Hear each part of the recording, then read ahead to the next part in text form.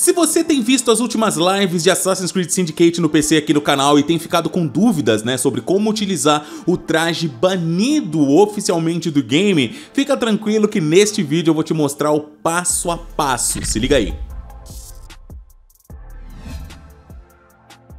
Fala fiotes, eu sou o Kalil e você está no Gamer Liu Games. Seja muito bem-vindo ao canal mais uma vez, segundona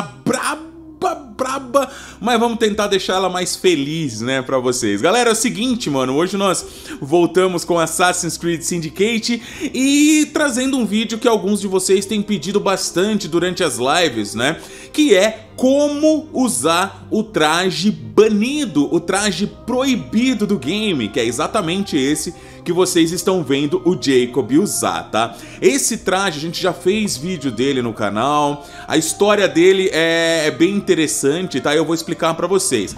Esse traje ele é o traje banido de Assassin's Creed Syndicate. Para quem não tá ligado, Assassin's Creed Syndicate antes, né, teria seu nome Assassin's Creed é, Victory, se eu não tiver enganado, né?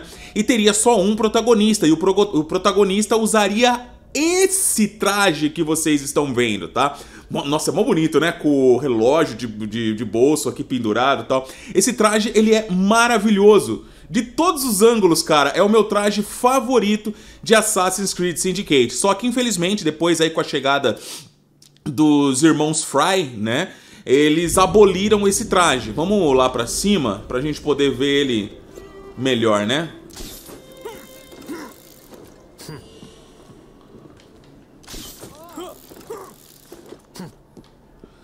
Cara, dá uma olhada nisso, velho. Ele é simplesmente incrível. Ele é simplesmente incrível. Vem pra cá, vem pra cá. Aí, aqui dá pra gente ver ele bem, ó. Caras, saca só isso aqui. Usar esse traje, né, esse mod, na verdade, ele permite duas coisas. Primeiro, que você utilize, né, o traje que não existe oficialmente no game, mas que sim foi desenvolvido pro game, tá? E outra é que você pode usar 100% do tempo que você estiver com ele, o capuz erguido. Mano, olha isso, cara. É muito bonito. É muito bonito, é muito bonito. Na minha opinião, é o mais bonito de todos, tá? Aí é o seguinte, para você utilizar esse traje, né, é um mod de PC, já vou avisando, né, infelizmente quem tem o console, o jogo no console não vai conseguir utilizar, somente quem joga no PC. Ele tem vantagens e desvantagens, tá? A primeira desvantagem dele é essa daqui, ó, deixa eu mostrar para vocês. Quando você habilitar esse traje, né, esse mod no seu game, se você entrar aqui em inventário e trajes, Mano, olha como isso é lindo. Vou até tirar minha câmera, pera aí. Não, não vou tirar porque senão o jogo vai bugar. Eita, pega. Mas vamos lá, ó. Esse... Ah, eu vou sim, mano. Dane-se. Pera aí. Pera aí, pera aí, pera aí. Tirei aqui rapidão.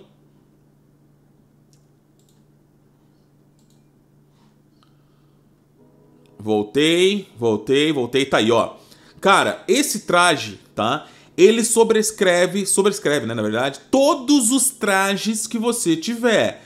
Na verdade, a skin, né? Quando você colocar ela, você não vai conseguir mais utilizar os trajes que o jogo te oferece. Você consegue sim usar a, os atributos, por exemplo, ó. Agora eu tô com os atributos do traje do Ezio. Agora com os atributos do traje do Connor. Agora com os atributos do traje vestuário do Dr. Daniel, saca? Só que eu não consigo ver essas aparências. Isso porque esse traje ele sobrescreve, como eu falei, a aparência de tudo, beleza? Mas na moral, na minha opinião, vale a pena demais, mano. Olha isso, cara. É muito diferenciado, né? É muito diferenciado. Tudo que você for utilizar, você só vai ter os status, mas a aparência do Jacob sempre, sempre vai continuar sendo essa armadura, esse traje. Tudo bem? Tudo tranquilo? Sem problema? Ó, tudo, cara, vocês podem fazer o que vocês quiserem. Pode usar qual qual manopla quiser, mas isso não vai mudar a aparência do personagem. Beleza? Todo mundo ciente? Então beleza, eu vou mostrar para vocês no PC o que é necessário fazer para utilizar esse traje em questão, pessoal. Uh, vocês vão entrar no site Nexus Mod, tá? Quem já joga no PC já tá ligado, já conhece esse site de velho, né? Ele tem muitos mods, inclusive pro Syndicate. A gente já trouxe vídeos aqui mostrando isso, né? E esse link em questão, né? O link desse, desse mod eu vou estar tá deixando na descrição para que vocês possam ir lá e acessar de maneira mais simples, tá? Mas basicamente, como vocês podem ver aqui nas imagens, ele vai dar acesso ao traje Victory, né? O traje que foi outrora banido do game de maneira oficial. E ele vai aparecer, como vocês podem ver, ó, nas cutscenes também, normal, mano. Ele aparece em tudo, tá? E na minha opinião, é muito chique, cara. Olha isso, cara. Olha essa imagem. Se pá, vou usar até de thumbnail se duvidar, mas vamos ver. Ó, dá pra ver bastante, ó. Ó, eles colocaram bastante. Na época que eu mexi não tinha tantas... Olha que lindo, cara. Existe até uma outra versão desse traje, o traje mais escuro, que é realmente como parecia no Victory, nas imagens vazadas tal, mas eu não gostei muito não, tá? Qualquer coisa eu trago ele depois, mas eu gostei desse aqui, que foi o primeiro que eu peguei. Bom, primeira coisa, no Nexus Mod, obrigatoriamente para você baixar, você precisa ter uma conta lá. É uma conta gratuita, não demora nada, você faz rapidinho, tá? Uh, no último vídeo que a gente colocou sobre os capuz, né? A galera, pô, não tá aparecendo o botão para baixar tal. Claro, galera, se você não fizer o login, não aparece mesmo. Tá vendo esse botão aqui, ó? Ó, esse botão perto da minha câmera aqui, ó, manual, é aqui que você vai clicar para baixar o mod, tá vendo? E depois você vai clicar em Slow Download. Se você não tiver logado, esse botão manual nem vai aparecer, não vai, sacou? Então, ó, ele tá baixando aqui pra gente, tá vendo aqui, ó? Victory, bem aqui pequenininho, Victory Outfit, tal, tal, tal. Tá mostrando aí 8 minutinhos. Vamos pro corte de novo. Galera, então olha aqui, eu já tô com o arquivo, né? Uh, baixado, beleza? Aqui ó, Victory Outfit e tal, beleza?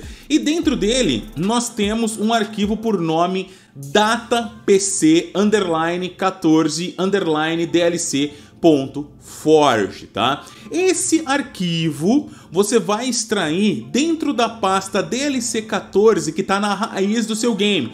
Aqui, o meu é F Games Assassin's Creed Syndicate, aí você pesquisa, vê qual que é o seu certinho, tá? Mas basicamente é dentro dessa pasta DLC14 que você tem um arquivo do mesmo nome. Aí tem dois caminhos.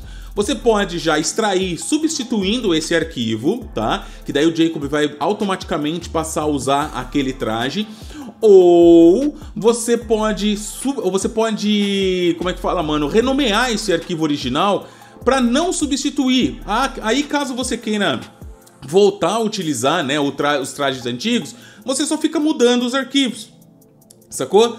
Então vai de você. No meu caso eu já substituí tal, não quero mais os trajes antigos, mas se você quiser, você pode fazer dessa forma, tá? Galera, é automático. Assim que você colocar esse arquivo que você baixou nessa pasta, pode fechar o seu game, abrir ele de novo ou abrir pela primeira vez caso ele já esteja fechado, o Jacob já vai estar tá utilizando esse traje que vocês estão vendo aqui, beleza? Então é isso, pessoal, rapidinho uma dica aqui, espero que vocês tenham gostado. Beijo no coração, sucesso, até a próxima, se Deus quiser, valeu, tchau, tchau.